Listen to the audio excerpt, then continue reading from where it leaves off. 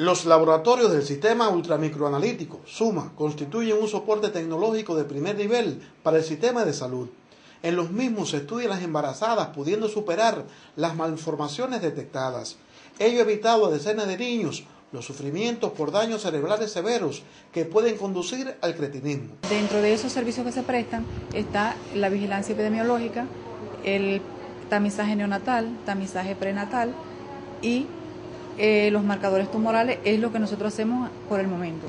Dentro del tamizaje prenatal tenemos el alfa-fetoproteína, es un examen muy importante que se le hace a las embarazadas para evitar eh, las malformaciones congénitas, ¿entiendes? Se hace de las 15 a las 19 semanas.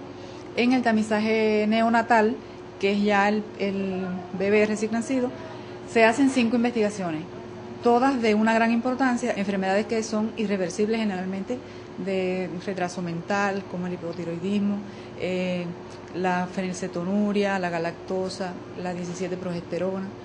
Y en los marcadores tumorales tenemos el PCA, que se está realizando en estos momentos, que también es de mucha importancia, nos permite eh, determinar con tiempo el cáncer de próstata. Y también se realiza, bueno, el pesquisaje de la vigilancia epidemiológica. Dentro de este están las pesquisas de VIH, antígenos de superficie, hepatitis B, hepatitis C. Es de suma importancia para el territorio, ya que permite hacer la producción de glóbulos y plasmas sin la necesidad de importarlo de otros centros de la provincia, realizándose además las pesquisas con mayor calidad en las investigaciones y en la obtención de los resultados, ya que al hacerse estas en otros hospitales, sufrían deterioro en la transportación de las muestras, así como el travío de las mismas. Humberto Arzuaga, Sistema Informativo de la Televisión Cubana.